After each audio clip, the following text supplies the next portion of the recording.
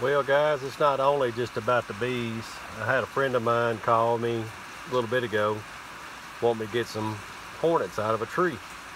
They're about six, seven foot tall. Well, maybe eight foot off the ground. So we're gonna see what it goes. I got my little suit. I'm gonna see how bad the bone a hornet is. I'm only doing it for a buddy though. Ain't no other reason I would do it, Tommy Chapman.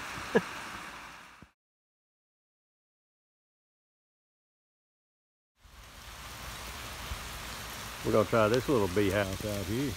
See what they do. See if I can't get them to come on out and get friendly. Everything went great. No problems. Uh, didn't even have one buzz me hardly. I had one kind of flying around. Nothing major. Put it in a basically took a garbage bag, put up around them. Um, had to dispatch of them only because I mean they're hornets, and they was in somebody's front yard. Didn't and they got a birthday party going on there Saturday, and you definitely don't want one of them out in your front yard and uh, kids getting stung. But it all went good. Thanks for watching.